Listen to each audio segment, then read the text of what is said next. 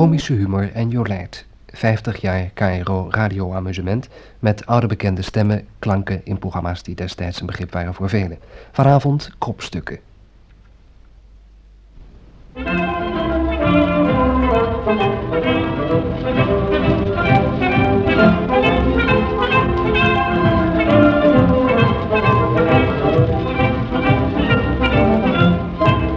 Hallo, hallo, hier is de KRO. 50 jaar radioamusement.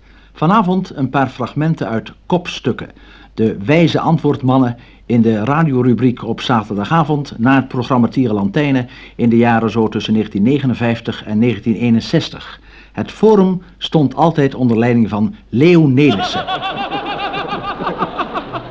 En dit was zijn lach, zijn legendarische lach, want er viel heel veel te lachen. De aanhef van de voorzitter was altijd zo.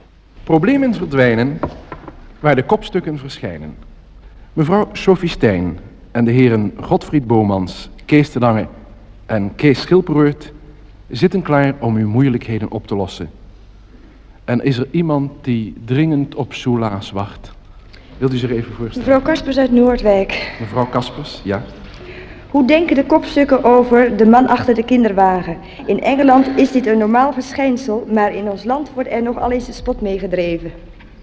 Ja, de man achter de kinderwagen. Dan denk ik wel op de eerste plaats aan de visie van meneer De Lange. Heb je mij zien lopen, Leo? Nee, Nee, ik vind het echt zo'n klein klusje.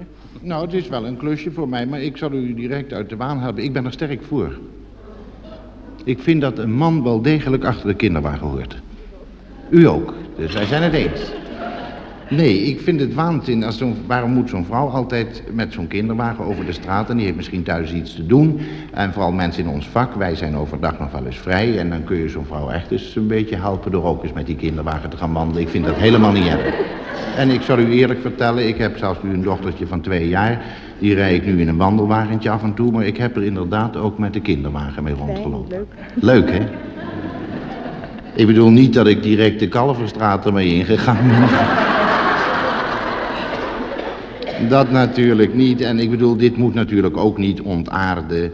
Dat je tegen je vriendjes gaat zeggen van... nou jongens, tot morgenochtend om 11 uur in het Vondelpark met de wagens. Dat vind ik natuurlijk ook een beetje overdreven. Maar om zo'n eindje met zo'n kindje te wandelen... en dan eens een half uurtje op een bankje te gaan zitten... met zo'n roze toestandje in de wagen. gaan. En om zo'n kindje dan eens een flesje te geven.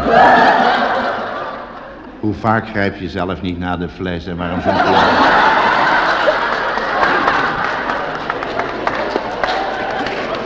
Nu waar.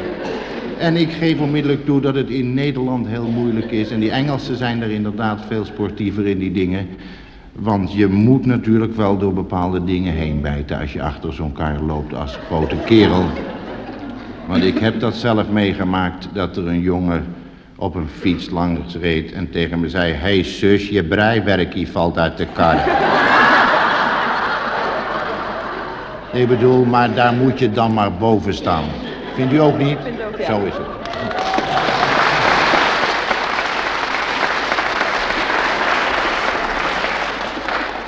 Ja, mevrouw heeft gezegd dat ze zelf ook voorstandster was van het eh, rijden van de man achter de kinderwagen. Een Engelse toestand. Toen heb ik een ogenblik gedacht dat de naam Jaspers was, maar het is toch nog steeds Kaspers. Hoor. En dan zou ik nu de visie van meneer Schilpoort willen weten. Ja, ik kan het onmogelijk met de heer De Lange eens zijn, want... eh, Wat is dat nou? nee, Maak nou wel een beetje mee. ja, nee, het spijt me, maar eh, ik ben er tegen. Mevrouw, het spijt me ook voor u, maar... eh, ja, u zult er zich misschien niet veel van aantrekken, maar ik vind geen gezicht. Nee? Nee, ik vind net zoiets als damesvoetbal. Dat eh, vind ik ook. Nee, dat... En ja, als u daar nou op door gaat denken, waar gaan we dan heen? Dan krijg je op den duur dat mevrouw tegen meneer zegt... ik ga vanmiddag voetballen, ga jij met kind uit. Nou, dat is het niet. Dat, eh. Maar ik geloof mevrouw, u staart zich blind op de Engelse toestanden. Maar dat moet u niet doen, want in Engeland is alles anders. Daar hebben ze andere maten, andere gewichten. Een ander muntstelsel hebben ze daar. Ze hebben een andere verkeersregeling. En daarom doen ze dat ook anders. Daarom lopen die mannen in Engeland ook achter de kinderwagen. Dat moet u niet verwonderen. Het zou mij zelfs niet verbazen als de mannen er ook 14 dagen in de kruimkliniek lagen, maar dat weet ik natuurlijk niet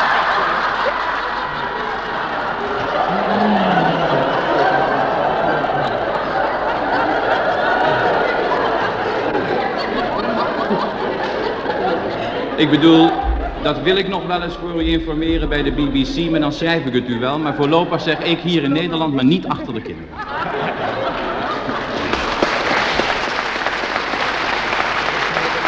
Nou, Kees. Kees, als jij er komt te liggen, kom ik met een mandje fruit. hoor.